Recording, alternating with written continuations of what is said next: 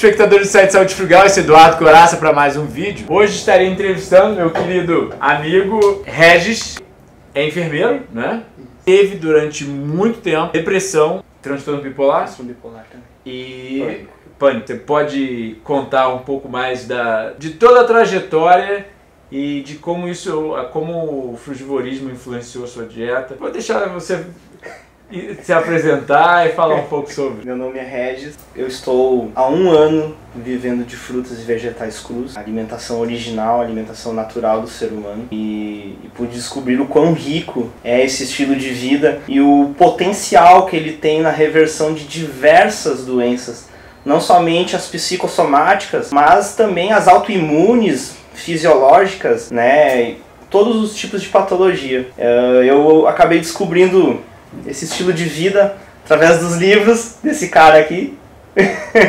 que eu sou grato demais por isso, né, por ter traduzido diversos artigos e ter trazido isso para nossa língua, né, para deixar disponível para todos os brasileiros, né, essa riqueza que é esse estilo de vida higienista. Uh, eu tive essas patologias me incomodando, tirando a minha vida por mais de 12 anos. Eu fiz uso de diversas medicações controladas faixa preta que vivia só na base de efeitos colaterais, não a vida plena, a vida enraizada, a vida fluente nas relações sociais, nos estudos, no trabalho, em todos os pilares da nossa vida. Então, alimentação frugal foi o que manteve né, esse objetivo que eu sempre tive de abandonar por completo né, de todas as, essas medicações controladas, para não fazer mais uso dela e não ter síndrome da abstinência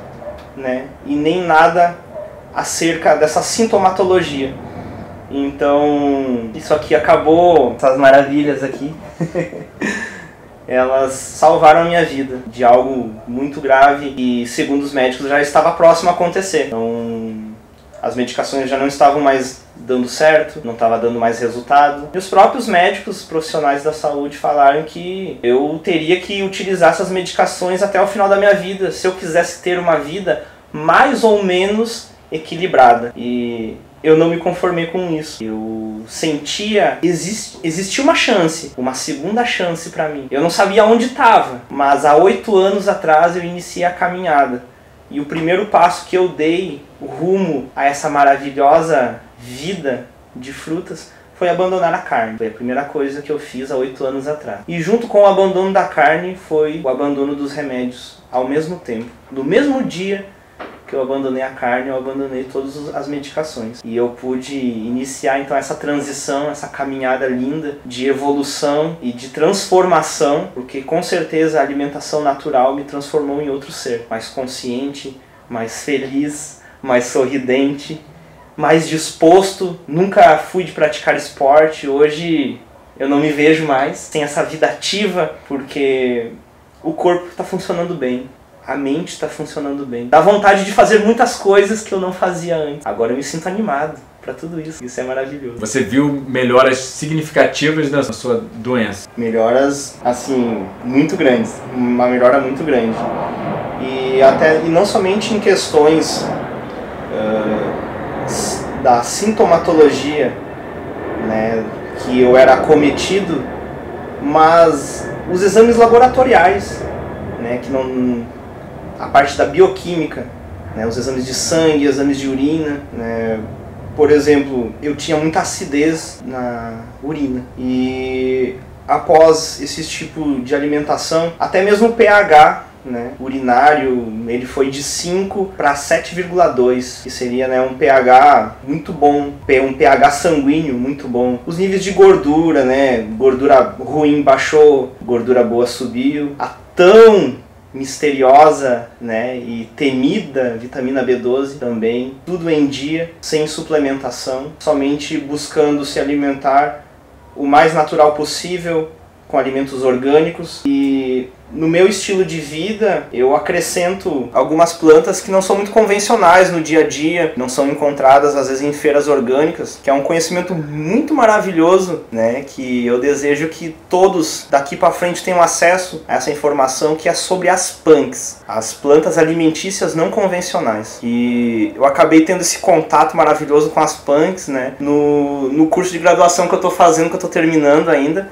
que é o curso superior de tecnologia em horticultura, né, pela Universidade Estadual do Rio Grande do Sul. Eu tive esse contato maravilhoso, além da parte da saúde, a ligação direta com a natureza, né, e toda a sua interação entre ambas, a simbiose, que é essa coisa tão maravilhosa, né, que a gente tem em devolver para a natureza e a, natureza te devolve em forma de alimentos ricos em água e nutrientes. Então, eu faço uso das pães, eu já consigo reconhecer diversas delas nos locais onde eu estou passando. Daí, aqui, por exemplo, nos parques de São Paulo, acabei encontrando Major Gomes, uh, Dente de Leão, uh, Beldraga, que são plantas, super plantas, né? Plantas de poder, superalimentos que às vezes estão disponíveis na nossa volta e às vezes a gente não consegue identificar elas, que às vezes no meio de todas essas plantas existe algumas tóxicas. Sim, por isso que requer um certo tipo de conhecimento, mas esse conhecimento ele é tão maravilhoso, ele é soberano, ele te traz autonomia, liberdade de você poder colher algo sem custo algum e poder levar um alimento natural que não foi colocado agrotóxico e você pode somente passar uma água nele, às vezes nem isso, né? E poder ingerir naturalmente, como o ser humano faria em seu estado natural. Se estivesse na natureza precisando se alimentar, ele certamente não iria lavar, né? Ele iria comer, né, por instinto, iria se alimentar de forma natural. Então, quais foram os benefícios em geral que você viu comendo uma dieta baseada em fruta? Principalmente Uh, primeiramente, uh, clareza mental, muita energia ao acordar pela manhã, que era geralmente quando eu tinha alimentação cozida, era bem complicado de levantar de manhã às vezes, né? não sentia vontade de nada, os altos e baixos da ansiedade, né? Qualquer circunstância que ocorresse, já parecia que tudo mudava, já perdia o foco, perdia a energia e acabava não conseguindo desenvolver a vida em geral, no âmbito geral, não conseguia estudar, não tinha energia para nada. E hoje eu me vejo fazendo coisas que eu nunca imaginei que eu faria, principalmente na parte do esporte, né, nos estudos. Nunca fui aquele aluno exemplar, sabe? Top. Era mediano, nunca me imaginei assim estudando, fazendo várias faculdades, né? E hoje, dizendo hoje, no dia de hoje, eu me sinto uma pessoa ilimitada, até mesmo nessas questões do conhecimento. Me sinto tão bem, com tanta saúde, com tanta energia, que por mim eu ainda faço mais umas três graduações aí nessa vida ainda, se possível. Porque eu sinto que eu posso. Antes eu não sentia que eu podia. Porque a, a sintomatologia desses problemas de saúde, acabam tirando a sua esperança, né? Eu acho que eu não vou conseguir, não. E quando você tá saudável, você vê que tudo você pode, qualquer coisa, tudo. Tudo, tudo, tudo mesmo. E quão linda que é essa transformação do nosso ser, uh, a, as nossas atitudes, a nossa forma de interagir com as pessoas, com a vida no âmbito geral. Ela muda de forma quando se restaura a fisiologia, e a saúde do corpo. Isso foi, acho que, uma das coisas mais ricas que eu pude colher nessa trajetória. Hoje, com 31 anos, me sinto feliz, disposto a viver por muito tempo. Queremos chegar no centenário. Vamos lá. Então você não ficou fraco? Não faltou proteína? Não. Tudo um mito. Falta de proteína. O que aconteceu com o meu corpo em termos de, de fisiologia, de anatomia, foi ter perdido muito peso no começo, mas era um peso de gordura. Eu fui diminuindo de peso, comecei comendo pouco, que eu não conseguia comer mais que três bananas. E, e fui aumentando. Né, as quantidades até comer até me sentir saciado mesmo de verdade né, comendo sempre com cada refeição mais de um quilo e meio sempre né, de dois quilos para cima por refeição tanto de frutas como de vegetais tanto que hoje eu já não como mais em prato, né? Faz tempo, faz desde então não, não, eu não como mais em prato, porque não, não dá certo. Então eu tô comendo em bacias grandes, que é ali onde eu consigo colocar toda a quantidade de alimento que eu necessito para uma refeição. Tanto quantidades de frutas quanto as grandes saladas que eu ando comendo, né? Todos os dias. Na base de 7 quilos, 8 quilos de comida por dia. É o que eu tô fazendo, né? Que eu, tô, que eu escolhi tá, tá me alimentando dessa grande quantidade que ao invés de me, me tornar uma pessoa desnutrida, como dizem, né? Você vai comer frutas, mas fruta não é, não é alimento completo. Até mesmo profissionais da saúde vieram me falar isso, né? Trocar ideia, dizer que, pô, você vai comer só isso e o resto, né?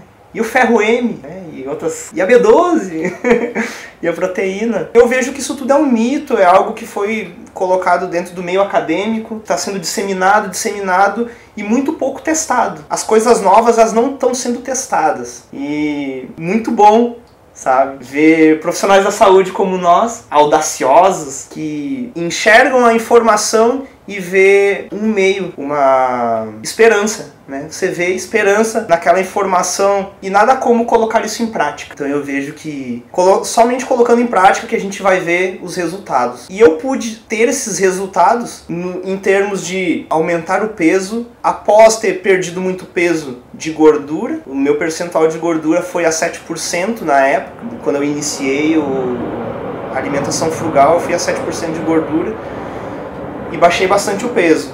Mas após acostumar o meu corpo a comer grandes quantidades de fruta, eu fui aumentando o peso, mas o percentual de gordura continuou baixo, sabe? Isso que eu achei mais incrível, que eu comecei a aumentar de peso cada vez mais, né, pelas as minhas avaliações né, a, pela minha dipometria que eu, que eu ando fazendo a cada cinco meses, mais ou menos, eu faço a dipometria para ver como que está o corpo no âmbito geral. E, os, e o índice é de aproximadamente 1 kg, 1 kg e 100 de massa magra por mês, que eu estou aumentando e o percentual entre 6 e 7%. São resultados científicos que não tem como você dizer que não. Tá ali, disponível, não somente nos exames físicos, mas nos exames clínicos de, de sangue. Está tudo ok com o meu corpo, está tudo ok, em todos os sentidos, literalmente.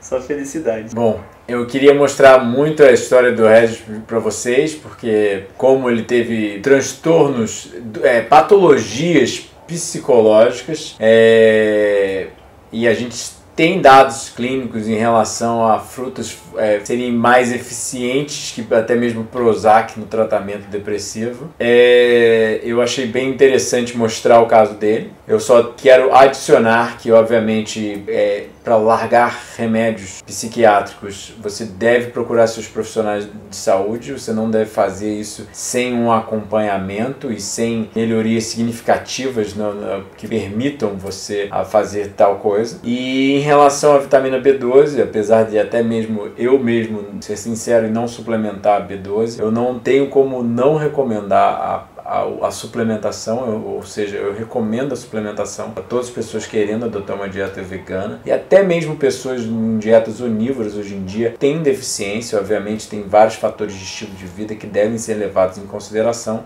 Então, finalizando, eu fico muito feliz de mostrar a história do Regis e como ele está é, bem melhor, né? Você vê pelo desempenho físico, ele treinando, pelo peso mesmo, as fotos dele, ele tem um Instagram se vocês quiserem seguir lá o Regis Nutri Vibes, vocês conseguem ver ele sempre com baixo percentual de gordura, sabe? Mantendo a forma física, se exercitando bastante. Obviamente, com você reverteu 100%, mil vezes melhor, né? Eu acredito que eu reverti 100% já, hoje. hoje. Então.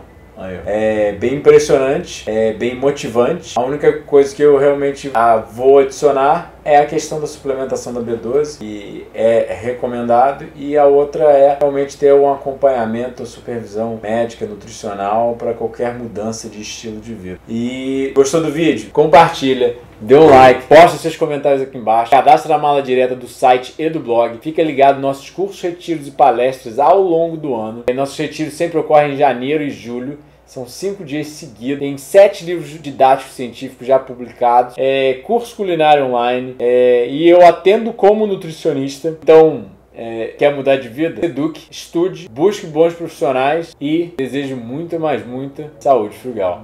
Até a próxima.